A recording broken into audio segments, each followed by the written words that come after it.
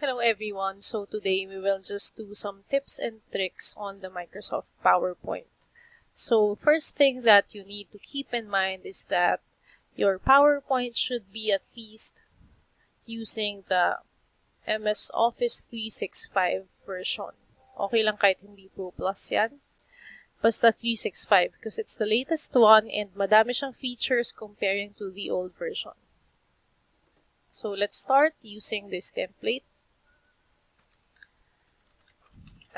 Type, in tayo ng title and subtitle.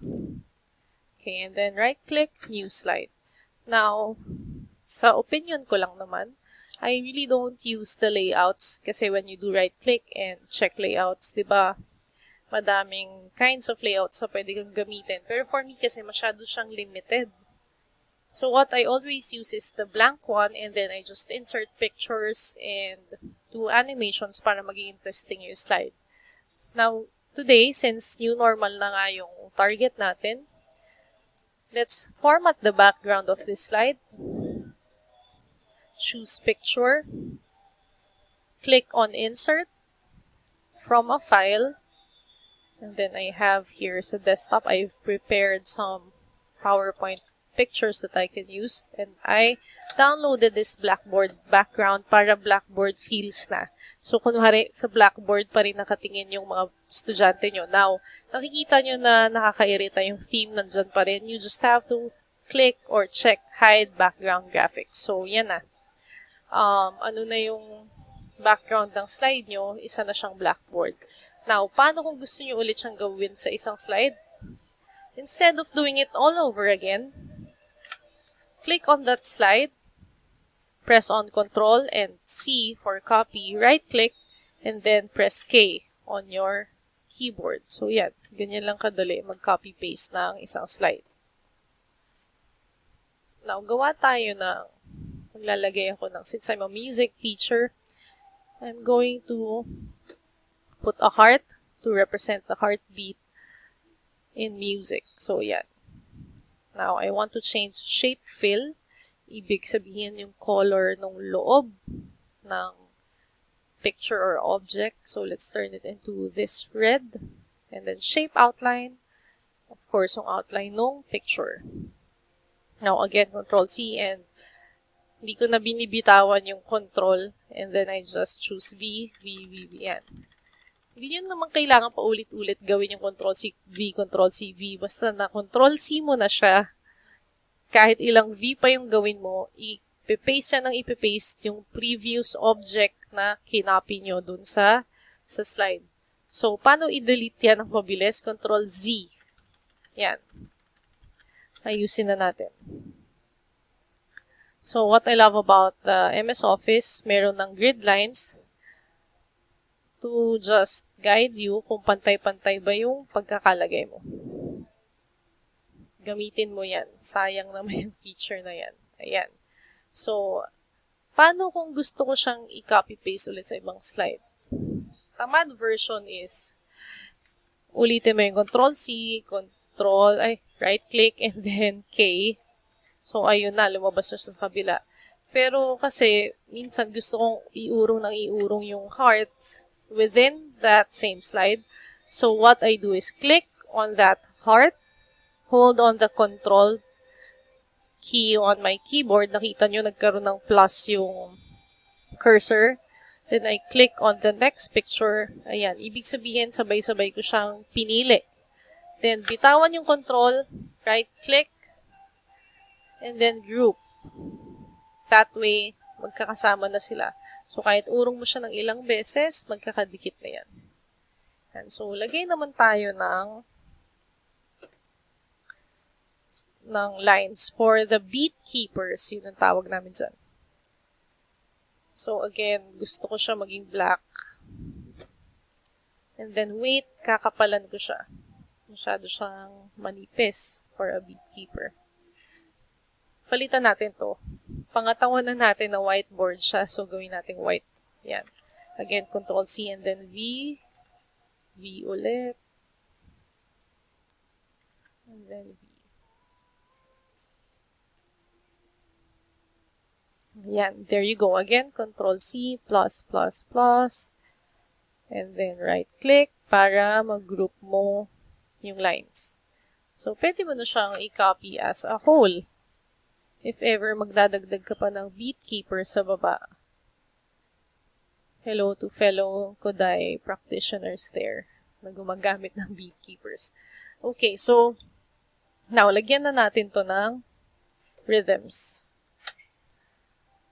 Tamad way, dinadrag and drop ko lang talaga. Yan. So, adjust, adjust na lang. Kung nakikita nyo medyo malaki yung oh, I'll text. Okay. Pag medyo malaki yung what do you call this? Yung frame ng picture, pwede mo namang i-format and then crop. Yan, dito natin. There you go. Para pag clinic mo siya, ayan o. Oh, yan na lang yung kailangan mong i-adjust. So, lagay natin siya dito. Eh, hindi. Bibigyan ko pala kayo yung tips and tricks. So, sorry. Lagay ko muna siya sa baba. Now, kung gusto nyo pa rin siya maging whiteboard or blackboard feel rather, sorry, click on the picture. Andito yung mga options para baguhin nyo yung picture color. Saan ko ba ginawa yun? Recolor. So, pwedeng ganyan. O, ba diba? So, mukha siyang drawing sa blackboard. Okay. Kabit na natin yung next rhythm. Ito, ang liit ng picture, ang laki ng frame. So, again, crop. Make sure um, kiniklik nyo yung format tab. Pero, automatic naman na siya pag nag-insert kayo ng picture na nasa format tab na siya. So, crop ulit. Tingnan natin kung ilang minutes na lang ang recording ko. Okay, may time pa. Ulitin ko. Format, and then crop. And adjust natin siya.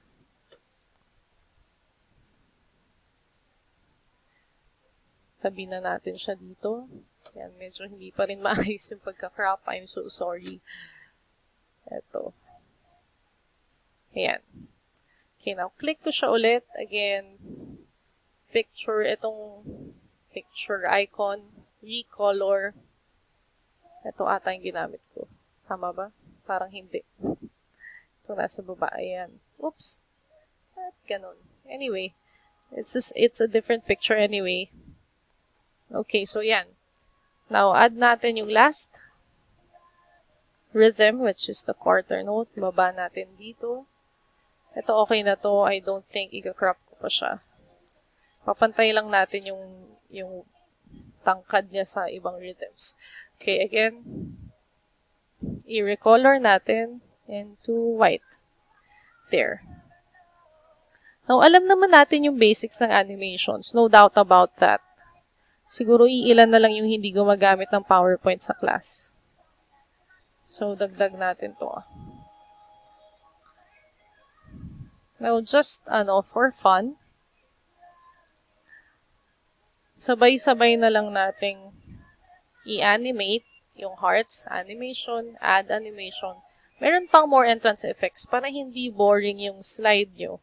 Dami-daming types of animations sa pwede nyong piliin. Hindi lang yung naka-preset dun sa taas pag clinic nyo yung animation. So, gawa tayo ng bounce. Ayan. Para medyo cute. Tapos, i-ungroup natin to. Pwede, pwede nyo kasing kantahin yung song for music teachers. Tapos kiniklik nyo yung lines isa-isa kasabay ng beat as you sing. Pero hindi ko siya mapapakita ngayon. Sorry. So, animate din natin to. Split na lang. Ayan yung sinasabi ko sa inyo, samples ng animation sa taas. Do not stick to that. Ang daming options dito sa add animation. Pero for this one, For this demo, lagay lang natin split. Okay. So, itong mga to, sabay-sabay natin silang bigyan ng grow and turn. Ayan. Now, one, one animation option that I love is the motion path. So, kunwari, habang dinidiscuss mo siya, pwede mo siyang, kunwari lang, nilalagay mo siya sa tamang beat keeper kung saan talaga yung rhythm na yon dapat. Okay, again, add animation, more motion paths. Ayan, may choice kung diagonal up, down, diagonal down, right. So, okay lang naman tong diagonal up kasi makikita niyo yung red na yan. Pindutin nyo lang siya. Tapos yan. Dalin nyo na siya kung saan siya dapat na beat keeper. So, let's apply it first sa iba.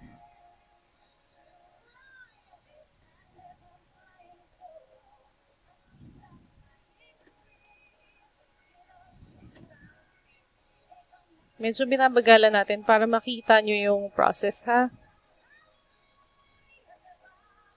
Medyo malayo to. Bakit ka nandyan?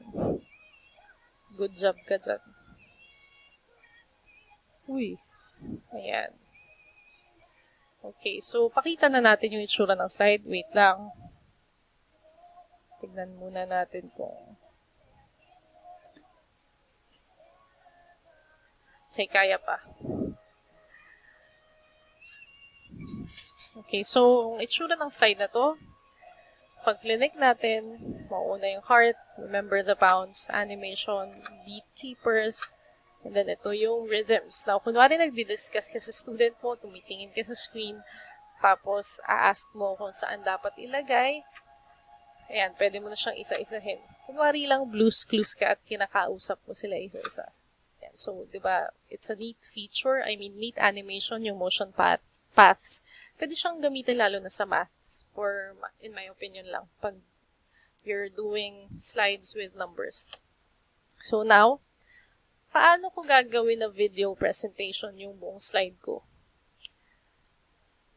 Una, we have this what we call narrations. So click on the slide, slideshow, record slideshow. So meron kang option pag binuksan mo yan, may option ka to record yourself.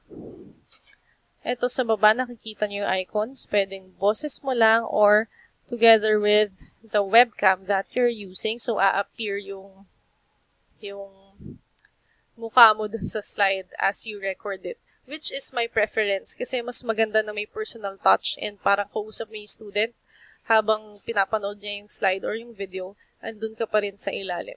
So, all you have to do is record Ayan. So, after that, bubukas muna yung slide. And then, habang nagsasalita ka, pwede, ayan, nagnanarrate na ako actually, record in progress. So, lahat ng sinasabi ko comes with this animation na nagaganap. Lahat yan nire-record noong slide. So, stop. Pwede mong i-clear kung hindi ka nasiyahan at gusto mo ulitin on current slide or on all slides. Escape. So, yung recording na yon makikita nyo siya dito sa baba. Ito na yan. Pero, hindi siya makikita ng student kapag, of course, na-record mo na siya as a video file. Paano nga ba i-record as a video file? Remember, when you do a video file on your PowerPoint presentations, lahat ng narrations and recordings na ginawa nyo per slide, masisave siya agad.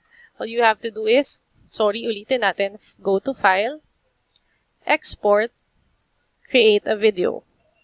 So, makikita nyo naman dyan, may Full HD. In my opinion, hindi mo naman kailangan ng 1080. 720 okay na. Lalong mas malaki kasi yung file kapag mas HD siya. So, mas mabilis din i-upload. Pagka mga HD 720, pwede na yan. So, you can see here, it says, it will use the recorded timings and narrations that you did on each slide. And then, create video. Kung nai, wag kayong mainip by the way kasi nangyari sa akin, nagtataka ako ang bagal. Yun pala meron pa ditong loading tab sa ilalim bago siya ma-export. Okay? So that's it. Simpleng tips and tricks lang.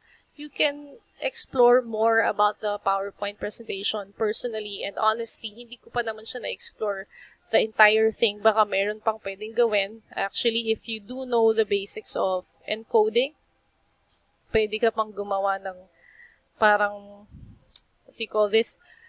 Parang codes na magiging, like, pwede kang gumawa ng tic-tac-toe interactive PowerPoint. Pwede siya, pero medyo mahirap na siya aralin. Anyway, that's all. Thank you for watching.